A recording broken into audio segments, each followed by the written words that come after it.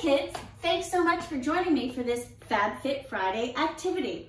The Beta unit has spent the entire year devoting our Fridays to fitness and wellness. We used to go on walks outside the school or in the school or do some core training classes within the classroom. Today, I'm working on a little strength training at home. During virtual school, every Friday, the Beta kids and a lot of other teachers and students in the school have to our flip grids with Fab Fit Friday activities. So this Friday on this Flipgrid, maybe you'll share some strength training. Maybe you'll share that you learn how to stretch and use a foam roller like I have.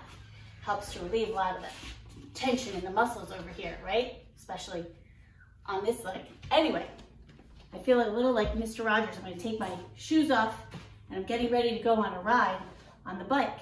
Maybe you'll go for a run. Maybe you'll go on a bike ride outside. Whatever you do, or maybe you'll even cook a meal. Whatever you do, post your activity on the FabFit Friday Flipgrid, and I can't wait to see you, because you know what? We're fab, we're fit, and it's Friday.